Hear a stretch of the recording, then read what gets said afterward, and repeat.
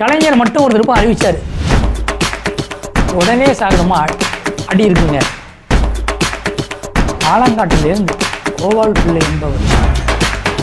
உலக அளவில் ஒரு சிலம்பு போட்டி நடத்துகிறாங்க ஒரு தீப்பந்த போட்டி நடத்துகிறாங்க பதினோரு பேரில் எட்டு பேர் வின்னர்